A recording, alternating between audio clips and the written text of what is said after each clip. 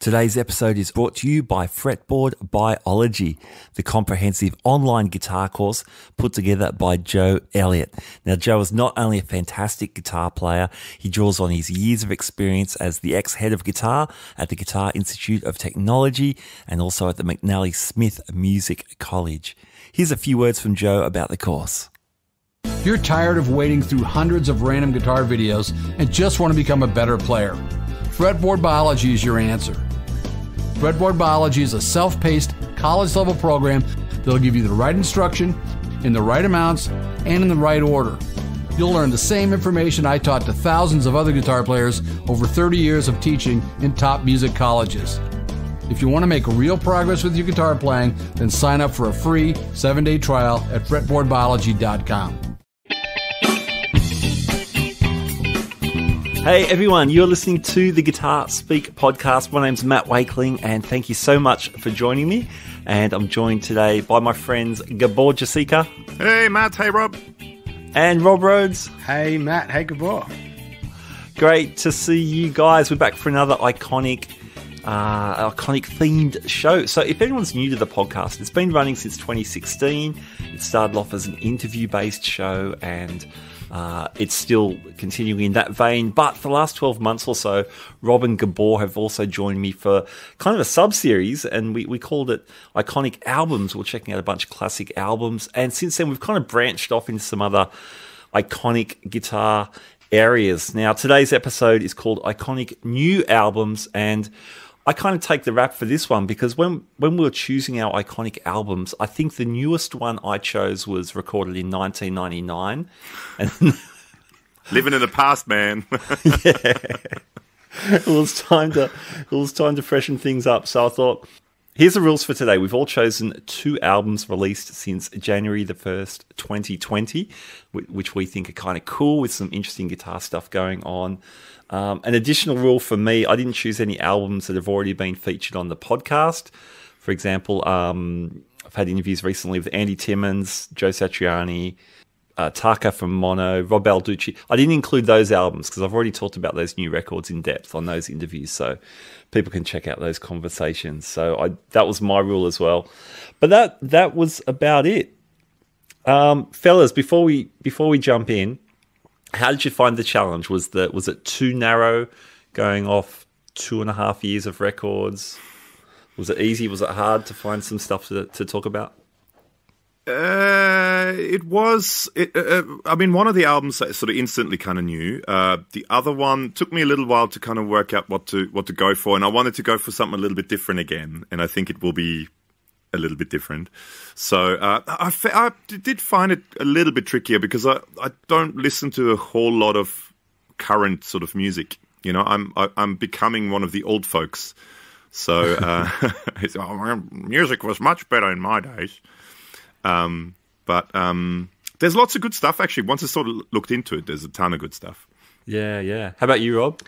Yeah, I thought it was going to be hard, and then it was hard, but not the way I thought it was going to be because I thought it was going to be hard to find something, and then it was hard yeah. to narrow it down. So, um, I might, as we talk, I might go through some of the albums that missed out, but um, yeah, I yeah. set myself um, some extra criteria as well. And yeah, what would you have? So I had to have either bought the album, uh-huh. so um, or listened to it more than twenty times. Wow, nice. So nice. We'll, we'll, I'll do like a little speed round countdown, and we'll get down to the two that I chose. Yeah. Yeah, cool. Hey, we've also got a huge stack of records from um, some of the listeners and the folks uh, through an Instagram question. Oh, um, we're building up. There's a there's a great little Instagram community that are chiming in on some of these questions I raise every now and then about some of these episodes we're going to do. So uh, we'll hear a bunch of really cool suggestions. Hello, Instagram well. community. Hello. Thank you for tuning in. All right, let's start talking about some records. Um, I reckon, Rob, you and I both chose an album, different albums from the same artist, Ariel Posen. Yep. Why don't we start with those two records? We'll, we'll kick off with the double Ariel. Okay, that sounds great. So, um, my introduction to Ariel Posen was, I think, almost during lockdown. So I didn't really know much about him. I, I sort of I know he came, he played with the brothers Landreth and that kind Yeah. of thing. But um, yeah, I sort of came across him by accident. He did a live stream for this, which is actually this album. He he's quite active on online, isn't he? Like, Um, Yeah. with, with doing YouTube stuff and being being doing live streams and doing live performances online and, and stuff like that. Absolutely. And a lot of like those silent with audiences all wearing cans, and um, the, which is this album as well.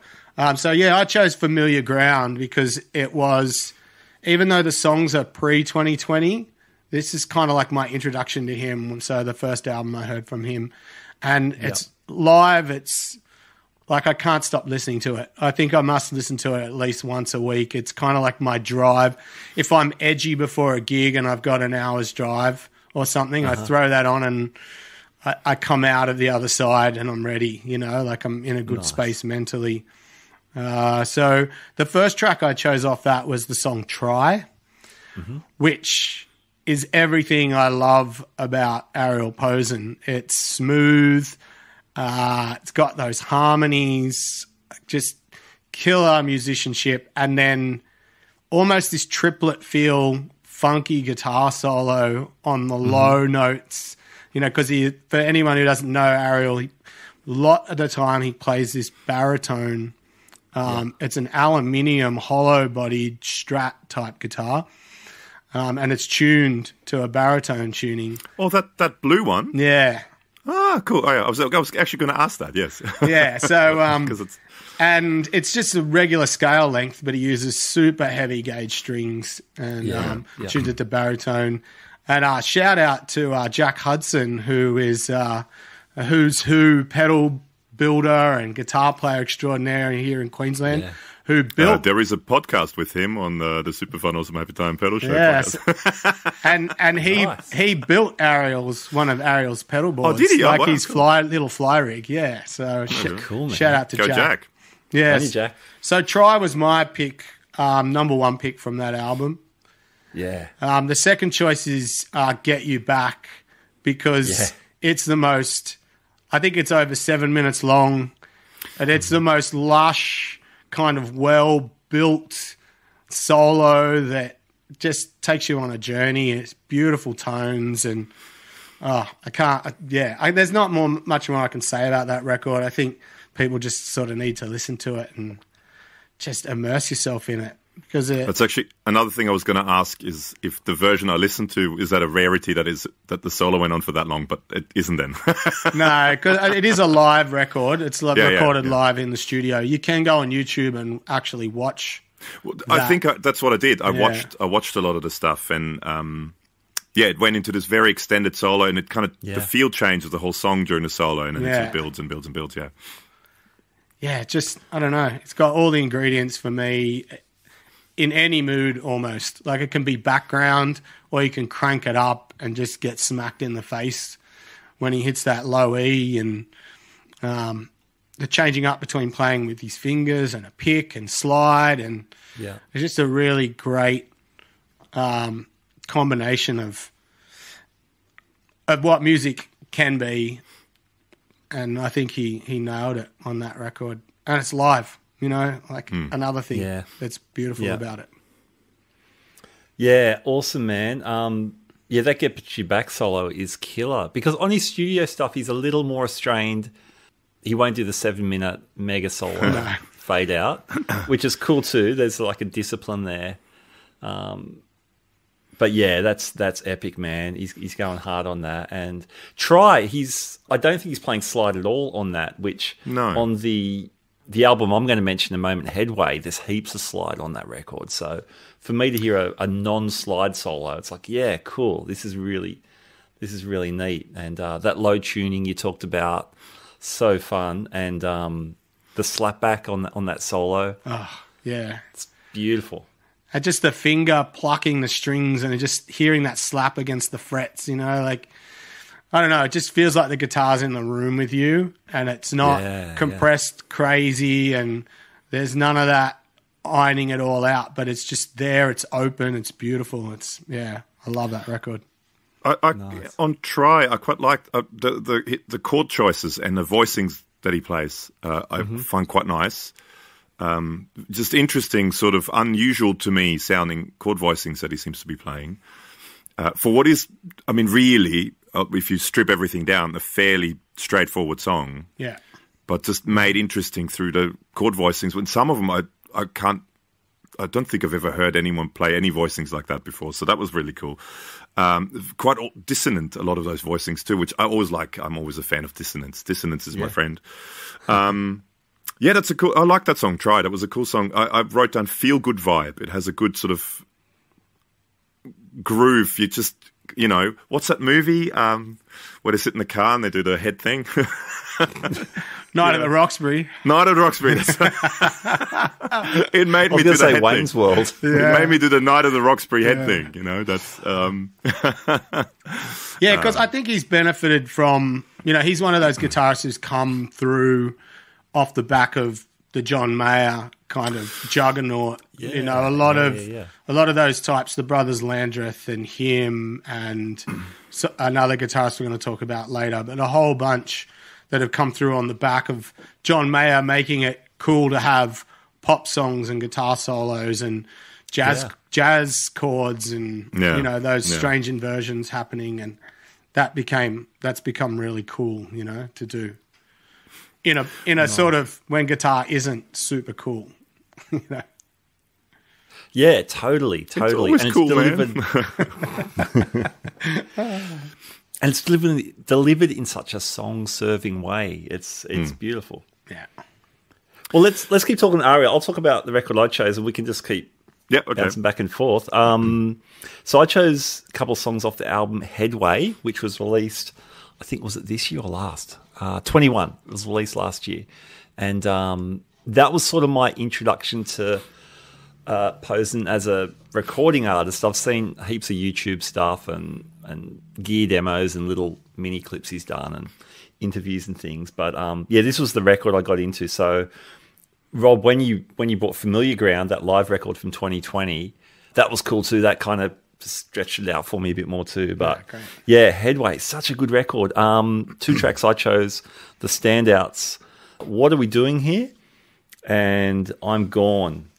So what are we doing here? Like super soulful, beautiful chord changes. Man, the guitar tones, the the the underlying padding guitar tones with the vibrato and maybe it's a harmonic trem or something. I don't know. It's just beautifully, beautifully voiced. And uh, takes a slide solo in that song. Lots of slide. Um, such a that's vocal slide player. Well, that's I was just about to say. Like, great solo. The, the very, very vocal melody, the the solo, and and um, I always like that's one of the I always like slide players that play that kind of, and it almost sounds like a singer. Yeah, um, yeah, yeah. Derek and, Trucks yeah. comes to mind yeah, straight yeah, well, away. He's, yeah. he's kind of he's reinvented slide. Yeah, absolutely, absolutely. He's, he's he's clearly got some blues vocabulary and reference, but he doesn't he doesn't live there. He takes it different places. Yeah, it's got a very similar slow slide vibrato to Bonnie Raitt too. Like there's a there's a okay. there's okay. a big Bonnie Raitt thing I hear there too, which is probably what dra- dragged me in to begin with with him. It's like the smooth vocals, the slide delivery. It's not yeah. it's not super fast. You know, he can play fast, but he chooses yeah. you know the tastier choice over maybe the more um, eclectic or shredder choices. Yeah, totally.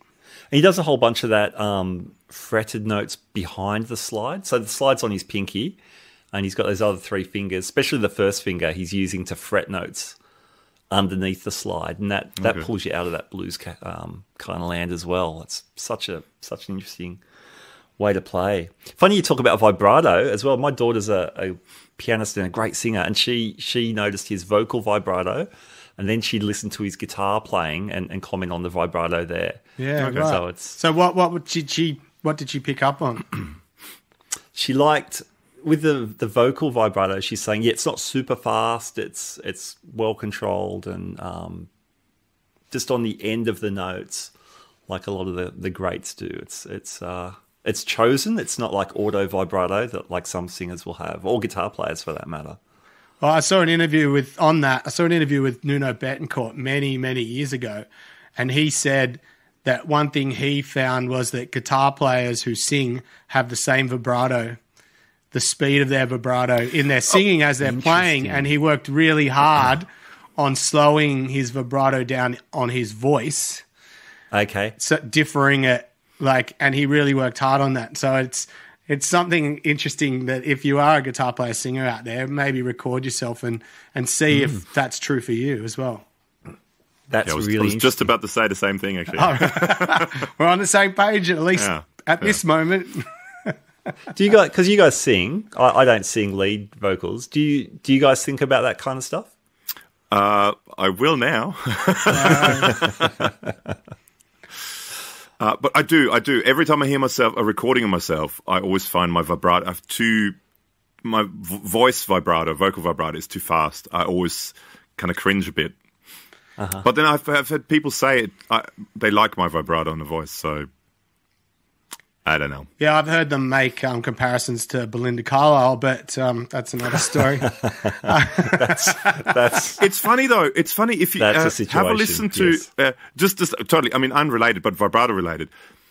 One of the weird things is when you when you hear singers that don't have any vibrato, and like uh, if you listen to Oasis, um, uh, uh, Liam Gallagher, yeah. he doesn't have any vibrato, and it's weird. There's something really weird about it. When you, anyway, that's just yeah. yeah, and then it don't crosses the line. Oh, sorry, Matt. I was going to say I don't think any singer singer used vibrato in the nineties. Come on. Oh, what about Eddie Vedder? Eddie Vedder sounds like he's yodeling sometimes. Okay, fair enough, fair enough. And George Davey. Yeah, I know. I was watching the the new live thing that just went up on Prime. Um, of they did in Seattle for the homeless, and Okay. I, I was just sitting there going, I didn't like really. His voice is out front, and I hadn't noticed how much it sounds like he's yodeling. And, Yeah. Yeah. Wow. You know, you Yeah. just Him go, and the, the wow. Creed guy, they have that similar sort of voice. That Oh, yeah. With arms Yeah, yeah. Scott Stapp. I came across him on Cameo t- when I was looking through some uh, cameos today for a possible uh, marketing push for the band, and he wanted something like four hundred and forty-four dollars. It started for Scott Stapp Wow. Wow. to get him to 44, just. That's a very specific number, isn't it? I thought it would have been. No, I'm not going to say that. But yeah, the um the vibrato thing is really interesting because you know you've got I mentioned Belinda Carlisle and Stevie Nicks, which are very that fast. You know, um, the intonation goat like some might say like greatest greatest of all time goat means. Um, yes. Yes. And Yeah, yeah. Belinda uh, Carlisle, greatest of all time vibrato. Yeah. and then, um, yeah, so I think because I'm mostly a rock singer, my vibrato, I've really tried to smooth mine out because I tend to, Okay. I tend to get a little bit wobbly. So it, it's been something that I've worked on. And then occasionally when you get space to really have a slow vibrato, because it's so much easier to have a fast vibrato as a singer Yeah. than a slow controlled one. So yeah, it's, it is, it's, I love talking about this stuff. It's great. Yeah, cool, man. Um, the, the only other thing I want to say about Ariel Posen is that um, in that tune "I'm Gone," uh, there's a great outro solo. Um, again on slide, and he, he uses heaps of fuzz, like quite a quite a lot of his solos on the new record. Anyway, sound like he's cranked the fuzz. I think fuzz on slide is such a cool sound. Yeah, well, Gary Clark Jr. is one. Um, yeah, yeah, You know, Derek Trucks not so much. He doesn't really use pedals. It's just like a cranked amp and He'll the learn volume pedal, the volume knob and the tone knob. But um, yeah, that that generation, Joey Landreth is another one, right? Who's you know Yeah, big yeah. on those tones. Yeah. Yeah. Um, I wrote down in "I'm Gone." I the, there's uh, I think there's a second guitar in that. It's two. Is there two guitars in that? And it's um uh, one's playing like a Leslie part. Yeah, yeah. That's a cool. The Leslie part, I really like that. It's a cool sounding Leslie. yeah, oh, definitely, definitely. That's. I'm just reading what I've written down, so that's uh, Sure. Definitely the, those. Yeah, he pulls beautiful tones all over the place, and some of them they're upfront tones, some of them they're like these interesting kind of rhythm, rhythm parts. But yeah, all right, two albums, two killer albums since 2020. Ariel Posen's made two of them himself. Nice work, nice work there. Uh, Gabor, let's go to one of your records that you chose. All right, which one do you want to do? The do you want to get it out of the way first, or do you want to wait, leave it till later?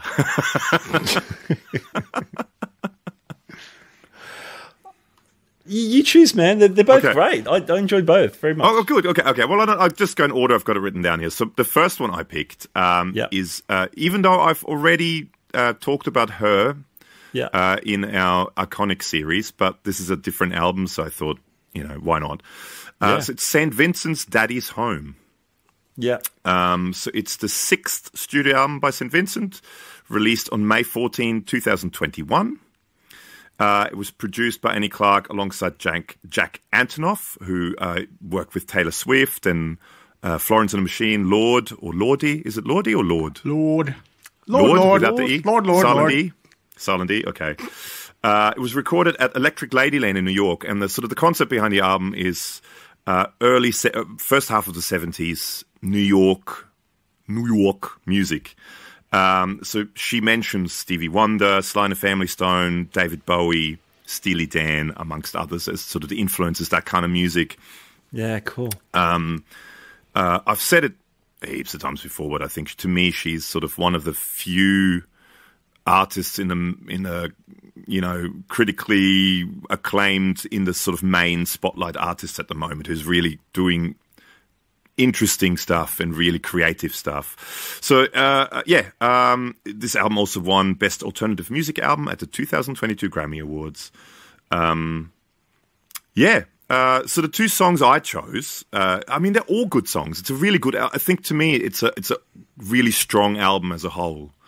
Um, all the songs are pretty good, but the two songs I seem to kind of gravitate to the most, and partially also because it has sitar guitar in it, which I mean, just for that, you should get applauded applauded for. Yeah. uh, one's down, and the other Yeah. one is melting of the sun.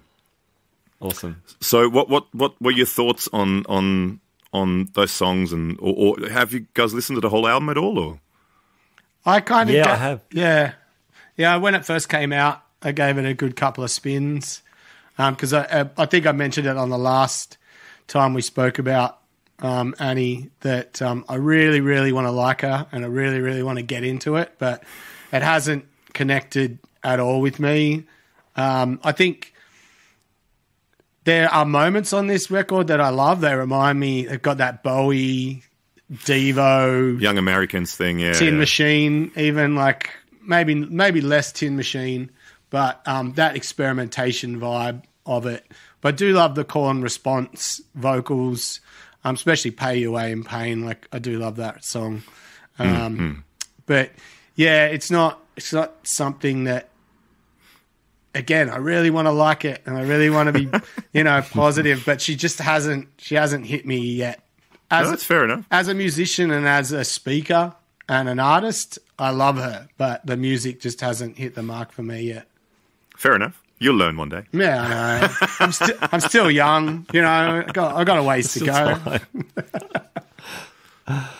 Um, what was the iconic album we did for this for Saint Vincent? Gabor? Her self-titled one. The, the- That's right. Yeah. So I checked out Daddy's Home after that episode because you guys were both saying, "Yep, give give Yep. Daddy's Home a spin." It's, it's a bit more song oriented. Yeah. Um, so I was interested to hear in that context a bit more. But I enjoyed your two standout tracks, Gabor. The um, Down's kind of funky. I like the the auto wah solo. yeah, yeah, yeah, yeah. Um, That's cool. So it's it's there's there's a story she there's a story that she sort of um, told somewhere I watched online um, about that song. So she set up a studio at home because of the whole it was all just as sort of COVID happened. You know, she started working on this album, and uh, she set up a studio at home. And uh, I think I think it was Jack Antonoff who they've become good friends, and he's sort of producer, multi instrumentalist. He played pretty much all the drums on that album and a lot of the bass and did a lot of the synth stuff he said to her, "You really need to get into into modular synthesis because that's that's you know you love it." And so apparently that's the very first thing she plugged in the modular synthesizer. Very first time, just plugged it all in and got something. And that sequence at the start is that very first thing she ever got out of a modular synthesizer. So she Oh, okay. recorded it, and that sort of became the the song, uh, which is kind of cool. But yeah, that, that envelope filter wah kind of solo is really cool. Yeah. uh, the the sitar counter melody. Yeah. that sort of sitar guitar which she plays. So she like an old Coral sitar guitar. She played it. Okay. Um, she did all that stuff. I do love that Coral sitar stuff. Like, I mean, is it a um, Jerry Jones that she think- has? Yeah, I think it's yeah the Jerry the, the, the original like she's got one of the old ones. I think the original old ones. yeah. because live, um, the other guitarist, whatever his name is, the second guitarist in the band, uh, uses one of those Jerry Jones. The one it has sort of like a, I don't know what you call it finish. It's sort of red, kind of weird finish, and it's got those sympathetic strings. Yeah. It's yeah, it's it's I, I love. Um, I, I remember um, back in it as Beck did a couple of songs that had sitar guitar in it, and I always wanted one. Uh, I just I, I don't know, just love something about it. Just really, I like it. Yeah, friend of the show, Peter Northcote, plays one on his um, Twitch channel. Oh, cool. Um, he Yeah. does the Massive Attack song, um, and he plays it on that. And I think he plays it on a couple of other songs. But yeah, it's great, great sound. I love that stuff. I love that They stuff. will. You just played Norwegian wood for six months if you bought one, wouldn't you? I'd play Master. Master Plan by Diesel. That's, that's- It's funny. Oh yeah, come on. Yeah, yeah, Da- yeah. Dan Electro made a made uh, I think it was called the baby sitar, and it's shaped like a sitar, but it's like a guitar. Um, and oh, there was one at the local music shop, and I was going to buy it, but it sold just before I got it. But But you can buy a bridge um, that Yeah, fits to s- the yeah. Danelectro and makes it sound like it. Les Rankin, um, Sydney Guitar Tech. He he I was he was the first I saw with it on one of his um, Danelectros, and it sounds great. Wow. But I love great. that, that Jerry Jones with those the the ten or whatever sympathetic strings that go Yeah. across. I just I, Yeah. I one day, what was that band? There was an Australian band, sort of a um, that gets Set, everybody, Uh, Taxi We're Ride. on. Taxiride. Yeah. They had they were using one of them in, in one of their songs, and just for that, I like that song. Yeah. what about the Steve Vai crazy guitar that's got all those sympathetic strings on it? Oh yeah, what is The it new called? electric The Hydra. Hydra. Hydra. Yeah. The Hydra. Hail Hydra. That's insane, that video. Well, actually, when I went to see Steve Vai years ago, um, it was um, um, Mike Keneally, oh yeah. who's Yep. just insane. I mean, Yeah. he, he to me he stole the show over Steve Vai because he was playing keyboard and guitar harmony solos to himself. Yeah. you know, like Yeah. he was playing a, one hand tapping on the guitar and the other hand playing the keyboard solos. I But saw him do that with Satriani. Yeah, unreal. Yeah, he's he's amazing, and he played uh, in a couple of songs. He had a sitar guitar on a stand there, Mike Keneally. Rock and Anyway, roll, man. I digress. Yeah, yeah, but yeah. uh, Anyway, back to that. I'm I'm talking, aren't I? Um, yeah, I, I mean, the whole tr- the whole album to me is really really good. I, I like I, like I said, I, I really like St. Vincent. I think she's great. I think she's uh, very interesting in what she does.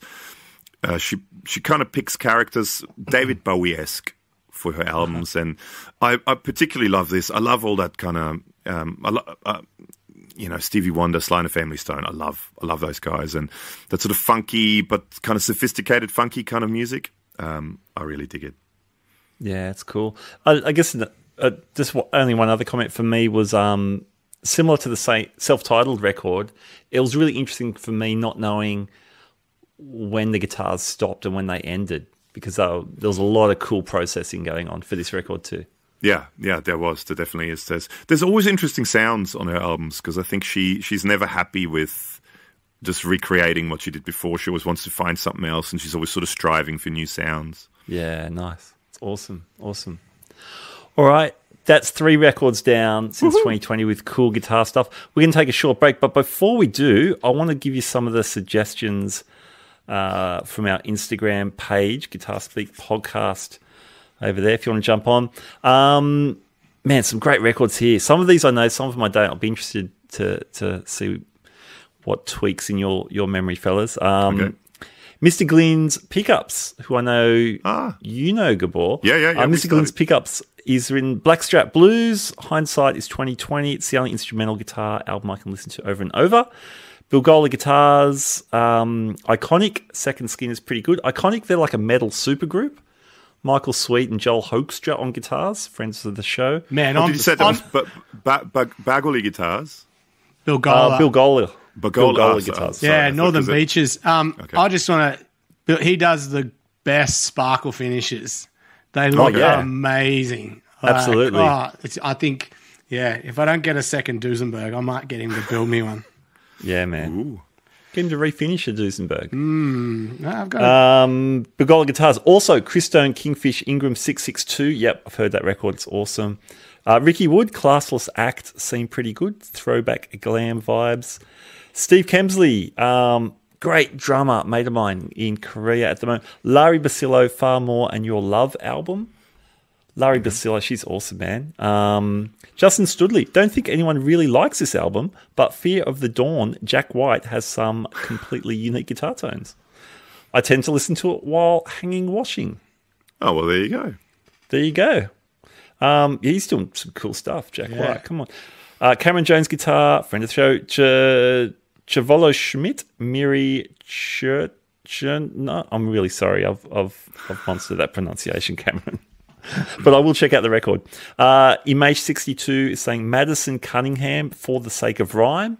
Yeah, she's I good, need to check Madison her out. Cunningham. Yeah, she's really good. I got into her, stumbled across her in lockdown. In a, you know, you go down a rabbit hole with a couple of artists, and then um, you get suggestions of other artists, and that popped up. And yeah, she's Okay. yeah, very good. Awesome. Pants 4822. Hi, Matt. Werewolves of Portland. Paul Gilbert. Just a stunning technician. Great sound with a hint of his cheeky personality. Always on show. From the UK Ibanez boys, Ray, Adam, and Dave the Vampire. These are the guys who do all the um, uh, repair and warranty work for Ibanez in the UK. We've we've chatted before. Good guys. Hey, fellas. Um, yeah, I've heard that record, the, the Paul Gilbert. He plays everything on it. Oh, it's insane. It's a really fun record. Yeah. Yeah. He just makes me smile. He's he's, Oh, He's great. Yeah, he's great. His enthusiasm. He's like he's like um, the crocodile hunter of, of guitar playing. he's just always so enthusiastic. He's I like yeah, it. yeah. Yeah, he plays every note like he means it. yeah, yeah.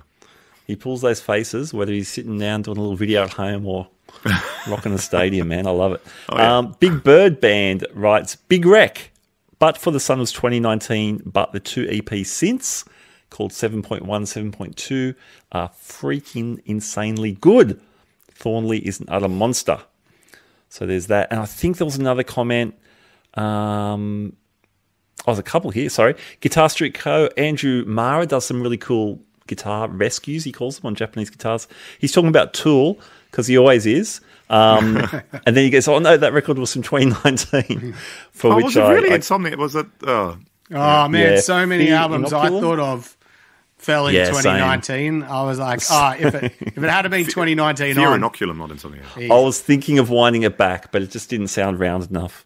So, Warren Riley uh, shouted out James Ivany, who just got a, a Shaw custom signature model guitar. Congrats, James. That's awesome. Cool. He writes uh, Sigil, groundbreaking work between acoustic and analog synth. Although only a short offering, each song is a movie unto itself. Right. And he's um yeah, Venue's got some more proggy stuff around too. Amazing. So there's some listener um suggestions, great some great records there. Some great calls and some cool stuff I've got to check out. Yeah. All right, we're going to take a short break. We'll be back with three more killer guitar records in the last released in the last couple of years. This episode is brought to you by Fretboard Biology, the comprehensive online guitar course put together by Joe Elliott, ex head of guitar at the Guitar Institute of Technology and the McNally Smith College of Music.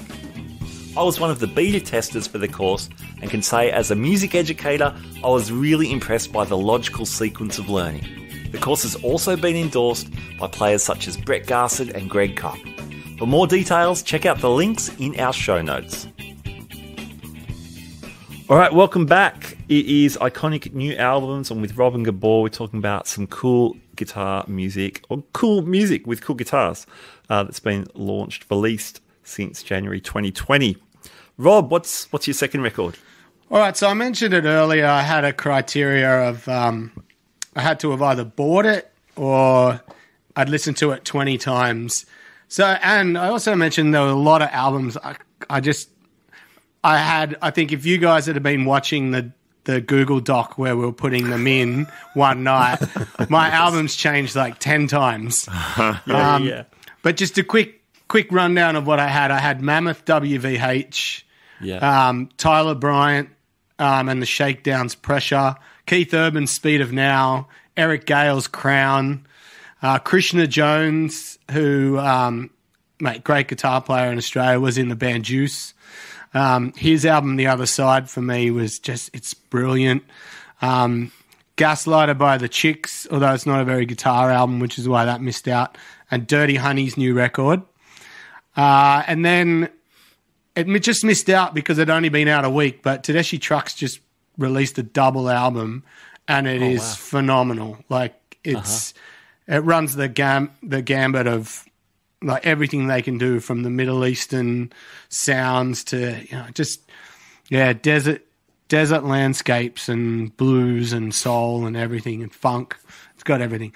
But so can I just yeah. can I jump in then? Yeah. Just with that in mind, Rob, that you got such a big list. Um, sometimes as guitar players, we can think, oh, you know, guitars out of fashion because we're not hearing shredding solos across every inane pop song as we used to in the olden days. Didn't matter what the song was. Steve Lukather was providing some fun for yeah for everyone uh, and his and his colleagues. Um, but there's always great music around, and if you dig around, there's there's awesome stuff. It's just not on top forty radio anymore, yeah. and that's fine. That's that's that's no biggie. There's always cool stuff. Yeah. Yeah. So anyway, sorry, Rob. So with that in mind, your second one. My second one came down to two choices, and it was Diesel's Sunset Suburbia which mm-hmm. just missed out to Marcus King's El Dorado. Um, and so Marcus King El Dorado, that's my second choice. And the um, the two songs I chose off that, the first one is The Well, which is an old fashioned barn burner, you know, riff, great guitar riff, vocals out there with just drums, you know, creating in the old school 70s fashion. Um, and the and the second track was One Day She's Here, which is like the complete opposite to that song. It's like yeah. a very soulful, mm-hmm. you know, sweet sounding song, um, but both displaying everything and anything that Marcus can do on guitar because he's probably one of the best guitar players of the new breed who I describe as fearless. And yeah, he just yeah. goes for things and does things that are outside the norm of what other guitar players are doing. Probably closer to that kind of Larry Carlton sort of bluesy style thing than um, mm-hmm. you know than a straight blues player. But when you look at his um, discography and what he's done, he's gone from very gospel style stuff to funk and blues and dirty blues and rock mm-hmm. and and somehow made the guitar not always the focus, but when it's there, it just slaps you in the face. And uh, this album was produced, this one and his latest one, which is just about to come out, um, by the Black Keys' Dan Auerbach. Oh, yeah, I saw I saw a live clip and he was playing guitar with him on stage. Yeah, so yeah. they've they've struck up a little partnership in recent times, and uh, I think he's reaping the rewards of that. That's yeah. awesome, man. I first heard of him, um, oh, probably about three or four years ago. I was writing some articles for Jam Buzz, which is like an online sort of magazine thing, and um, the their editor said, "Can you do a gear rundown of Marcus King?" I'm like, "Yeah, sure." who's Marcus King? And um, far out, man. And he was like 21 then, a, a, grizzled veteran of the road. Like he's been playing gigs since he was what six or something. I don't know. Well, he looked um, very young in all those the clips I saw. Yeah. Well, he is very young. I mean, yeah. for for the stuff that I watched, the the yeah, for this, yeah, he looks very yeah, when, young. When I say grizzled, that, that's not true. But he's, he's, he's just played a gazillion gigs, and he's yeah. yeah, he's fearless on stage. Absolutely, that's such a good description, Rob. Um, he, Marcus King, he's been doing his own albums, what, the last two or three records? Before that, it was the Marcus King Band, yeah. which to me, this this record, I mean, maybe one day she's here is a little different, but this record seems a little rootsier than some of the early stuff, Rob. Is that um, no, I think it's I think it's just a an evolution. Like he's just right. really honing. He's always had those acoustic kind of campfirey you know, southern influenced songs, you know, southern blues, um, as well as the rockers. But then he's always had horns. Like even you Yeah, go back and look, cool. he did a tiny desk concert, which is like phenomenal.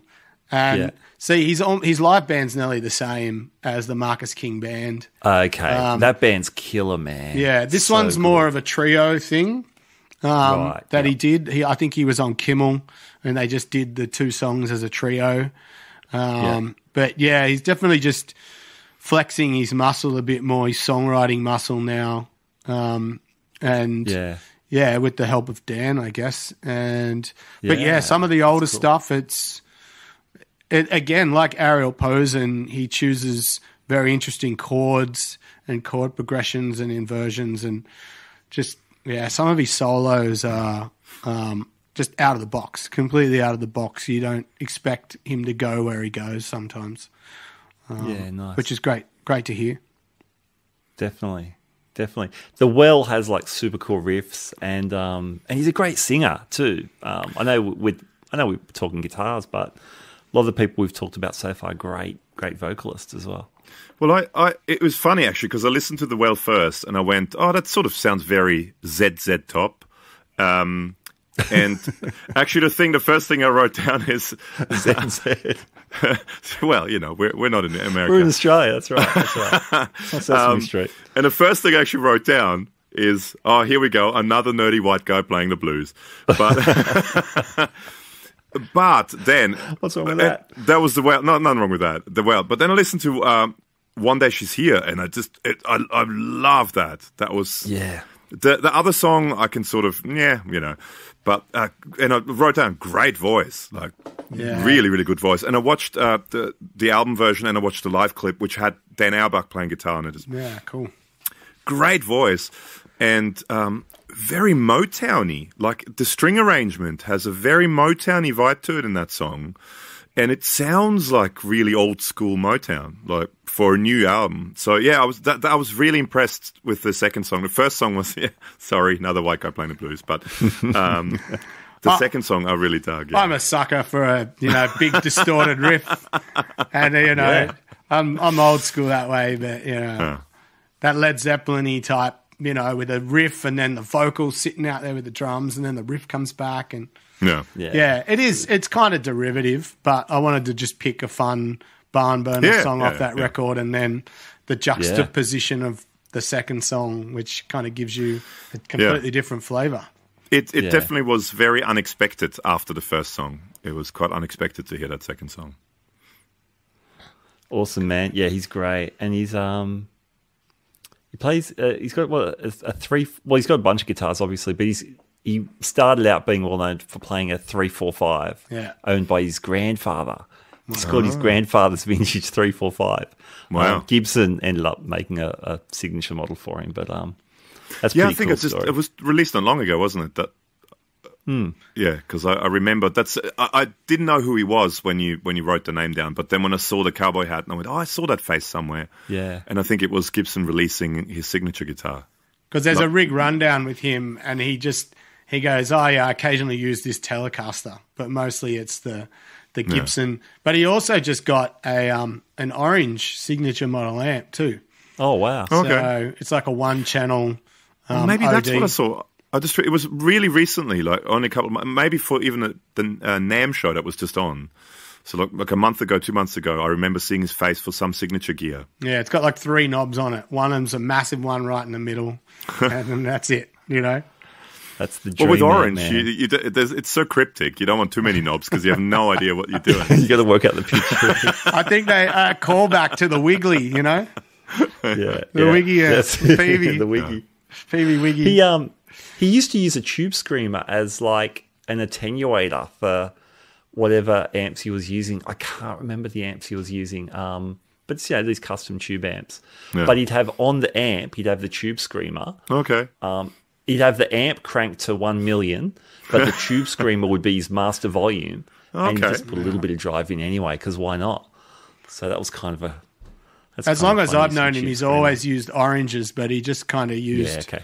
you know, just the standard. I think was it the Rockerverb or one of those? That's it. Yeah, used to- Rockerverb seems to be the one everyone uses. Yeah. Yeah.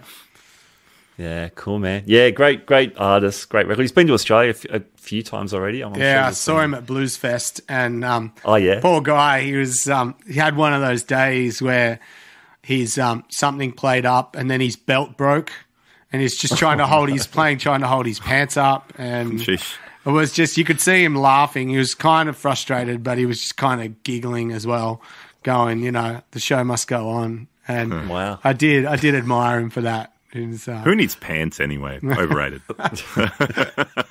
oh man. All right, Gabor, you've been threatening us all night. What have you got? All right. Okay. So the the second album I chose is by a Japanese band called Boris, and it's uh, their latest album called W.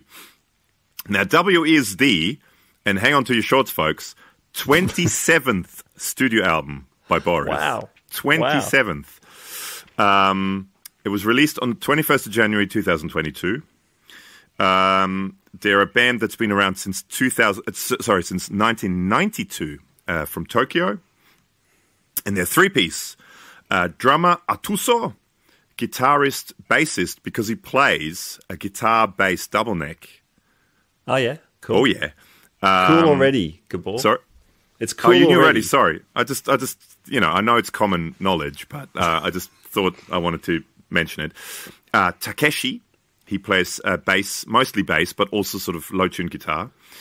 Uh, and uh, guitarist, and actually, uh, without really thinking about it, I chose two female guitarists because uh, Boris has a female guitarist called Wata. Um, and yeah, so Boris is a kind of a, a weird band, but I've really gotten into them lately. Um, so they're mostly known for playing quite sort of doomy music, quite heavy. Um, Okay. I think they're generally tuned down quite low to C, maybe, I think. Um, and it's very heavy kind of music. They are, however, if you want to categorize them as anything, they're very unhappy about being categorized. They just they say we're artists, we're musicians, we just whatever comes out comes out.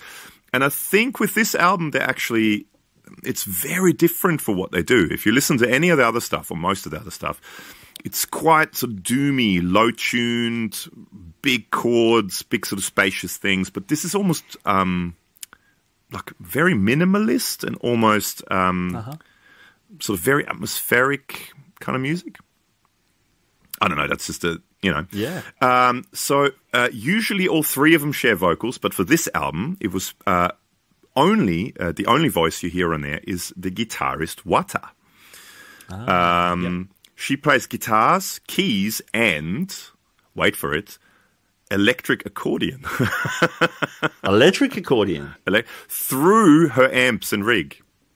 Of course. which is cool. Awesome. There's actually really cool. Um, if you go to the Earthquaker Devices um, YouTube channel, because she only recently got a um, fuzz signature fuzz from Earthquaker Devices, um, which is called uh, what is it called? The Hizumitas fuzz, which is based on an old elk Big Muff clone, Japanese made Big Muff clone that she used to use all the time uh, but it kept breaking because it was really old and kept breaking. Um, so Earthquaker Devices cloned it kind of for her and did uh, her signature uh, His- Hizumitas fuzz. Uh, there's a really cool. Uh, I think it's they're called bored to death, but bored as in pedal board, bored to death. To death. Things that Earthquaker Devices do, and she runs through a whole rig.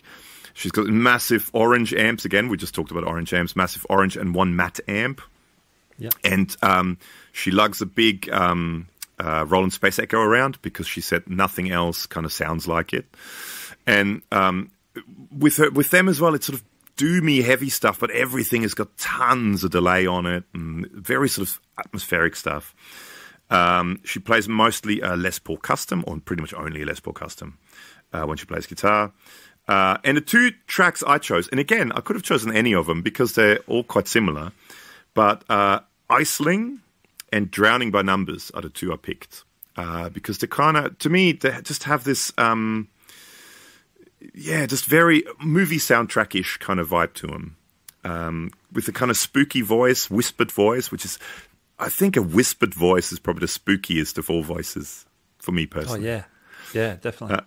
Um, and uh, and all right, what uh, just what I wrote down with Icelina, one of the things I really like, if you listen to it, I think almost everything goes in one way or another through a space echo because there's all these kind of these kind of gradual pitch changes that happen every once or quick Okay. pitch change of just about every instrument you hear. And I always like that sort of stuff.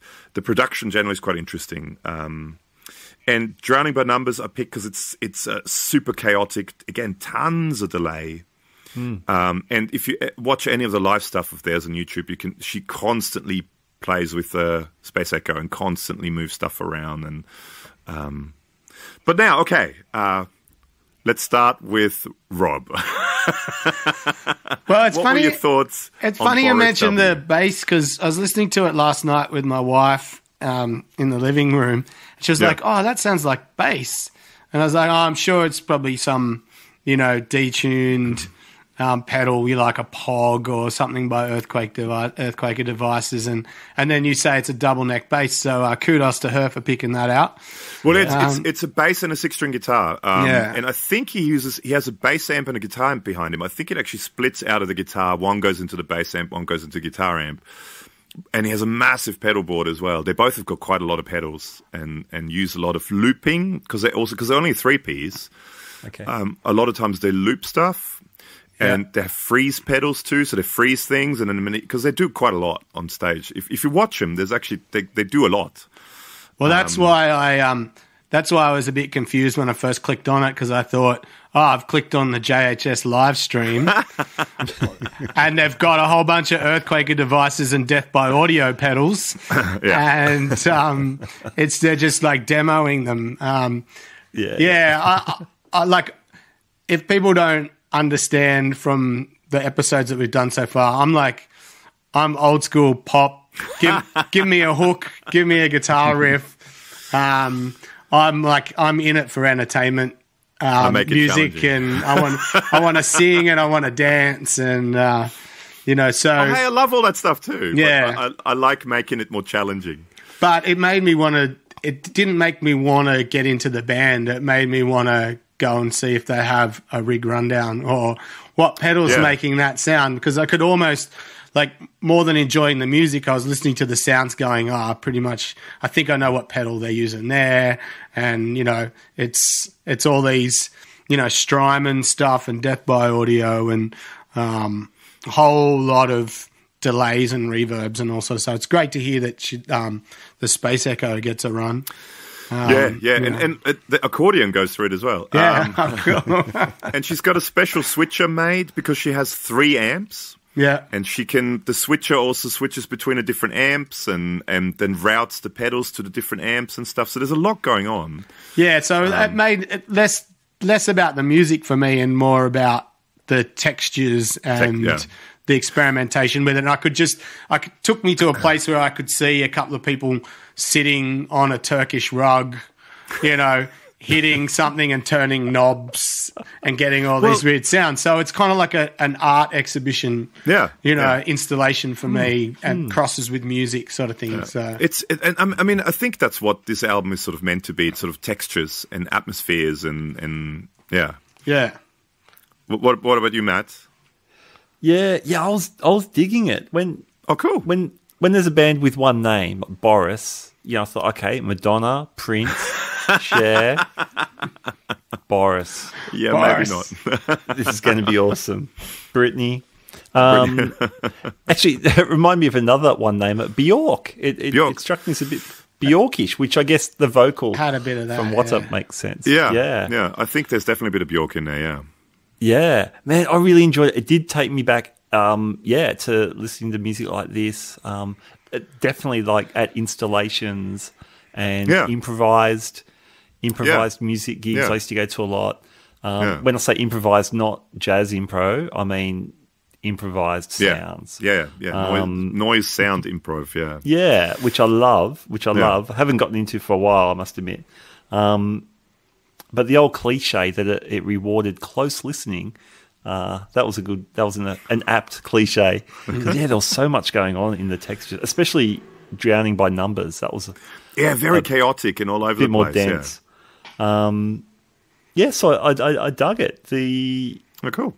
the whispering was cool. I, I, was waiting for a little bit more melody or something, but um, yeah, it's totally, totally interesting. I only listened to the two key tracks you gave, though. Is is the rest of the album similar? Does it get doomier elsewhere? Uh, not really. Not this album. No. Um, I, I then just today actually I was listening to their previous album, No, and um, that's very thrashy, doomy kind of. A lot okay. of their stuff is very heavy and then some albums lean more towards a kind of kind of really well. They did. Um, I don't know if you guys know guys know Sunn O))). So I was so, just thinking about that. Yeah, the Doom band. They did a, a, a, an album together with Sunn O))). Oh, okay. And they also did an album with Japanese noise artist Merzbow. I don't know if you ever heard of Merzbow, Merzbow before. yeah, or Merzbow, yeah. Uh, yeah. I saw him actually. Uh, so uh, uh in Brisbane uh, a few okay. years ago, oh, a long years ago, like I'm saying, maybe more like twenty years ago. Uh, Merzbow and um, Mike Patton did a show together. Okay, yes, and it was yeah, crazy. Yeah. I bet. I bet. but yeah, uh, so they, they, collaborated with a lot of um, rather quirky artists, um, yeah. Boris, over the years. But yeah, some of the stuff is very doomy, sort of slow, very slow beat, if any beats. Um, uh, you know, that, I don't know, I guess you call it doom sludge, that sort of music. But okay. then it goes also into sort of almost punky direction, but then it also goes into sort of more thrash metal kind of direction. But then there's also almost a little bit of poppy influences in some of their albums because there's so many albums they've released. And the interesting thing with them. Did you say? Sorry? Did you say 27? 27 records? albums they've released, yeah, wow. yeah studio albums. Uh, that's not including live albums that, that they've released. But, um, and the thing, again, maybe it's a Japanese thing very often looking at the cover and what the, the album is called and what the music is is very very different. okay. Okay. you know, it can be very pretty flowers on the cover and it's this full on thrash metal thing. Um, but yeah, a very interesting band. Uh, if anyone wants to check them out, the sort of first album I got into and quite liked was an album called Pink, and I think that was their breakthrough kind of album as well um, from quite a while ago. Uh, but cool. then since then, yeah, a lot of uh, just very versatile sort of band, and um, to me, just yeah, it sort of sets moods and atmosphere. Uh, fears. I really like this album, for example, driving home after a gig at night. It's a sort of is a it, it, it's kind of calming, and it's sort of I don't know. For me, I like that sort of stuff driving home after gigs. Yeah, nice. I think they should do a collaboration with Emily Hopkins. Like, I reckon that'd go really good. You know the the girl, the YouTuber who does the pedal demos with the harp. Oh, see that? yes, yes. Oh, yeah. she's yeah. great. Yeah, she's really good. It sort of yeah, would amazing. fit really well. Yeah, maybe. Yeah, yeah, yeah. that'd be cool. Accordion, uh, electric accordion, and electric harp. Yeah, do it. Do it. I think I think I've seen her posting too on pedal boards of doom or something, saying asking questions or something. Or by the way, I play a harp through this rig. Yeah, oh, yeah, she's great. Her videos like, are awesome. Oh, okay. I don't know what to suggest now. Yeah, like uh, pedal order question or, or something. by the way, it's a harp. It's awesome. Hey, well, the last record we've got for tonight is from a, another Japanese band. How about that? Yeah. And just backing up, um, Gabor, I haven't heard of Mer- I haven't heard Merzbow mentioned for years, so that just yeah, yeah. Be, I, I love I love a lot of that, that. stuff. I um, if yeah. you if you guys ever go through my record collection, there's some very very very strange stuff in there. But that's that's it. that's my part in this iconic albums podcast. I'm going to need Google. Role, I'm going to need Google's translate for some of that last conversation. Okay. yeah, there's all the languages, and then there's there's Gabor. Yeah, yeah there's yeah, there's me. Gabor to English. Um, yeah, so another Japanese band I chose a band called Mono, post rock band, been around since 1999. Their album um, they've released two albums since 2020, but one of them was featured on the show. I spoke to Taka, the, the lead guitarist and leader of the band, um, about their album Pilgrimage of Souls, which I loved so much. Um, but it was it was outside of my rules for this show. So okay. they released a live album in 2021. Um, sorry, I've got to go back to my notes. They released a live album in 2021 called Beyond the Past, live in London with the Platinum Anniversary Orchestra. Hmm. So, Mono, they're a four piece Taka, lead guitar, uh, Yoda, these are their Japanese nicknames. Uh, Yoda, mostly rhythm guitar, and Tamaki plays bass, and they've got uh, an American dude on drums now, uh, Drew someone or other. So, so t- he's the is he the guy you talk to? Is he the Jazzmaster guy? yeah, I Yes, knew you'd mention. I that, like him. I already like him. Yes. I knew you'd bring that up. You'll love this Gabor. He's um he's got a 66 Jazz Jazzmaster.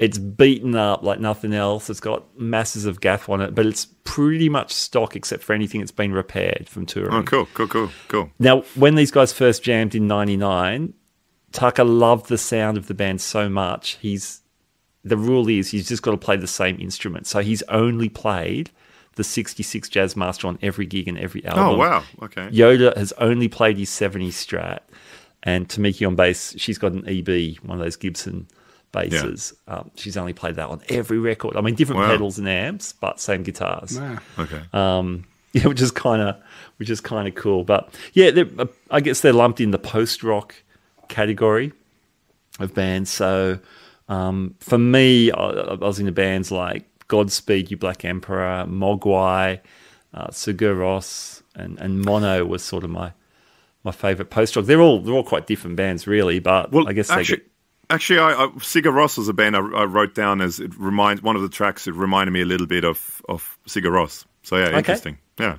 Cool, cool. Um, so yeah, the two tracks and uh, slight apology. We were meant to give everyone two key tracks. I did that, but that, my two tracks were like twenty minutes worth. So, uh, Death to Rebirth, which which then morphed into Dream Odyssey. Thoughts, gentlemen? Any any post rock love out there? Absolutely. Yeah, yeah. I, I, I, I, a lot of the bands you mentioned before, I really dig. I, I, I hadn't heard of them before. I remember listening to your podcast with him Yeah, and thinking, oh, I should check this out, but I, I never got around to it. So yeah, this was my first time listening to it. I really dug it. I really, really liked it. Um, uh, like I said, so the things I wrote down, um, again, some ways similarish to to the Boris album. You know, um, uh-huh. atmospheric, emotive, soundtrack style music. Um, yeah, yeah. Um, a bit of dissonance at time as well, which is cool. Um, I wish uh, uh, because it was a live video that I watched on on YouTube Oh, okay. with Yeah. some of the tracks on it, and there was an orchestra there, and I, something like a smaller orchestra in the back. Yeah, and I, yeah. I sometimes wish they would do more. I kind of went, "Oh, come on, give me some yeah. more orchestra." But, uh, that's that's what I wrote down. But um, uh, yeah, very atmospheric, emotive, emotive uh, soundtrack style music. Um, and uh, the outro of Dream Odyssey reminds me a little of Sigur Rós. Okay. Yeah. That's what I wrote down. But yeah, I dug it. I really liked it.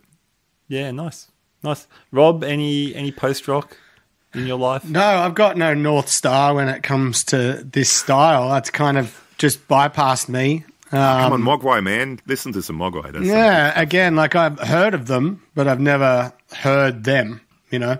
Um, So, yeah, I'm well and truly, you know, if this is left of center, then I'm far right as far as where this sits. Um, it was interesting. Again, I found like I was just listening to the textures of Yeah, it yeah. because there was no real hooks um, Yeah. so much for me to grab a hold of, but definitely that soundtrack quality of um, of music that I could hear in the background of you know some Netflix series.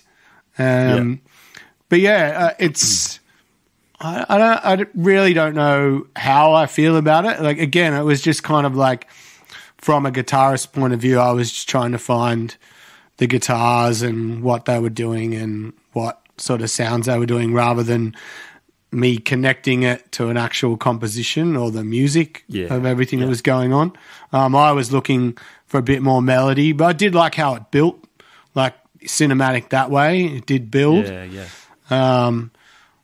But yeah, it, it's from a guitar player's perspective, just able to contextualize how something so big and verby and drippy and all of those other types of descriptions for reverb, how they fit in a band situation. Hmm. and yeah. and again, I was sitting there listening to it. Probably was the third time I'd listened to it, and I was listening to it with my wife last night, and it is just sitting there going, oh, like it's the only way that stuff can work is in that like the everything's got space to be heard and to breathe. Whereas Yeah. from from It's set up my it, yeah. from my background of playing rock, I know that big delays and big fuzzes and all that kind of stuff and delays uh, reverb sorry don't work in a live band rock situation because there's no room for it You need to leave Yeah. the space. yeah, for those, and yeah. it'd be really. All I kept thinking was, oh, I'd love to just sit in in a band like that and Hmm. find like a different gear and a um, for me as a guitar player and to compose that sort of stuff would be amazing. But yeah, I, I wouldn't. Uh, it's not something I would choose to listen to, but it was um, again from that perspective of finding um, the art in it. I enjoyed it from that perspective. Yeah. Yeah, sure. That's. I mean, it's a really interesting thing you say too about thinking about it in a band context. Because yeah, the music has to set up for it. Um, yeah. Yeah, those tones you can't you can't pull out on a on a covers gig that often. When you're playing a Stevie Um, Ray song, yeah, exactly. ain't working. exactly, exactly. So, um, yeah, but I, I mean, I, I I dig that stuff. One thing, one little tone recipe from the Taka interview, he said we put the reverbs before the fuzz pedals. Yeah, And I started playing around with that. I mean, I always knew that was a thing. Um, but again, on a gig, I didn't want the mess. But when I when I was messing around with it at home, it's like, yes, this is post rock 101 yeah, yeah, yeah. like Yeah. light bulb exploding moment. Yeah. So I mean, I was I was doing bands like this when I was at uni, and I did a solo ambient gig for for a while, and Oh, cool. And even playing at church. Sometimes at church, the guitar's role is is more of an atmospheric role. Yeah. Versus out on a rock gig when you're riffing out. So sometimes I'll pull those tones out there, but yeah, it's not going to work for Jesse's girl. Unfortunately. Or Brown Eyed Girl. No, brown eyed Girl. Reverb before the fuzz in Brown Eye Girl. it's it's yeah the fuzz. Yeah, uh, it's funny. Uh, sh- shout out to I don't know if, if he's listening, but Stefan from the, uh, the Pedal Zone, a fellow YouTuber. Uh, I met him a few years ago in in in Europe, and um, he's right into all that sort of stuff, post rock and shoegaze and that kind of that kind of style of music. And I said to him, "So okay, so what do you do? Do you put the delay and reverb before the drive or after the drive?" And he goes, "No, no. What you do is you put delay and reverb before and, And after, the yeah. Both. yes. Amen. That's how you Yes. do it, and Yes. multiples of each." Um, Yeah, it's the Yeah, it's, it's- the soft and hard taco. We can have Yeah. both. yeah, yeah. Well, it's like a boost pedal, isn't it? Do you put it before or after the drives? Well, eventually you want one at each end. Yeah. It, it it just has a it has a very different sound to it when you run delays and reverbs into drives, and it it it it's just great. I I, I really like doing that. Again, I wouldn't do it in a cover band scenario, but um, Yeah, yeah. uh, yeah, for for writing stuff, it just creates a whole different vibe and world. Yeah, totally, totally. Cool. Well, we've just covered six excellent records, I'm going to say, with some really cool guitar that go from A to Z. Just to use that Z one more time. ZZ Gabor. Top. ZZ Top. Um, man, how much how much ground did we cover? Post rock to that experimental to blues and rootsy stuff. Well, I think it's just shown that guitar is relevant across a Yeah, lot yeah. of genres, even in 2022. Yeah, You know, and there's room for everybody and every different type of gear, and explains why the pedal thing is just so huge. Because Yeah. look at just from those artists, there's artists that don't use any pedals, there's artists that use one or two, Fools. and then there's guys that are walking around with pedal boards that need their own private plane. Smart That's people. right. That's right. Love it. Love it so much. Awesome. Guys, thanks so much. That's a great bunch of records. Thanks to everyone who um, sent some album suggestions as well. Again, just reinforcing what Rob just said that the guitar is 100% relevant Yep. and doing some cool some cool things. Hey, before we go, Robin Gabor, can you tell the nice people listening where else they can find you and, and what you get up to? Gabor. Oh, me? Okay. Uh, well, if you want to hear me talk even more um, and see me uh, while I'm talking, uh, why not go to YouTube and check out my YouTube channel called The Super Fun Awesome Happy Time Pedal Show. Uh, all one word, no gaps. We don't do gaps. uh, where I uh, re- we review pedals and amps and guitars and software and and I don't know slow cookers and everything. Dog, So, uh, dogs, yeah, pet dogs. everything. Uh, yeah, and we do a podcast as well, which we very rarely do lately. But this year's been a bit we- shocking. Actually, we've been really bad with it. But yeah, so check us out there. The super fun, awesome Happy Time Pedal Show. Nice, very cool. And Rob, Um, yeah, all, all my info can be found at rhodetripent.com. we call Rob the hardest working man in showbiz because he's not only playing gigs all the time, he's creating gigs uh, with his with his 70s show and, and so much cool stuff. Oh yeah, we're we're about to um, embark on something else for 2023, which let's just say we're going to be bringing lonely people together. Ooh, Ooh. are you going to be wearing a cape while you're doing it? Yeah, yeah, that's right. Yeah.